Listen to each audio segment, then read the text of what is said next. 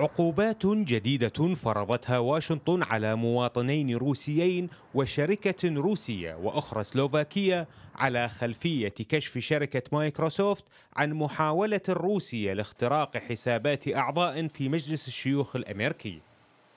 مايكروسوفت كشفت عن محاولة روسيا إنشاء مواقع إلكترونية تهدف لسرقة كلمات سر حسابات البريد الإلكتروني لأعضاء في مجلس الشيوخ ومعهد دراسات يدعم تجديد العقوبات الأمريكية ضد روسيا وهو ما نفته موسكو. كل ما يحتاج القرصان الإلكتروني للقيام به خصوصا المدعوم من دول مثل روسيا هو خلق حالة من الشك في نزاهة الانتخابات ولو بنسبة واحد في المئة.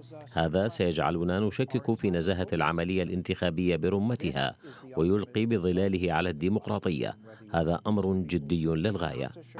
وزارة الخزانة الأمريكية أكدت على لسان نائب وزير الخزانة لمكافحة الإرهاب والجرائم المالية سيغال ماندلكير أن العقوبات المفروضة على موسكو أدت إلى خسارتها الكثير.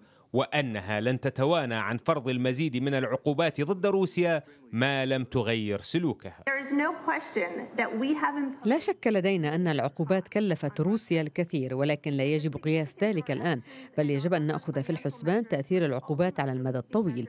رغم استمرار روسيا في أنشطتها الخبيثة إلا أن موسكو بدأت تأخذ في الحسبان قدرتنا على أذيتها اقتصاديا، ولن نتردد في القيام بذلك إذا لم يتغير سلوكها بشكل واضح. الصراع الإلكتروني بين روسيا والولايات المتحدة لا يمثل إلا ساحة من ساحات عدة يقف فيها البلدان على طرفي النقيض. منها اتهام موسكو بارتكاب انتهاكات لحقوق الإنسان والتدخل في الانتخابات الرئاسية الأمريكية وتدخلاتها العسكرية في أوكرانيا وسوريا.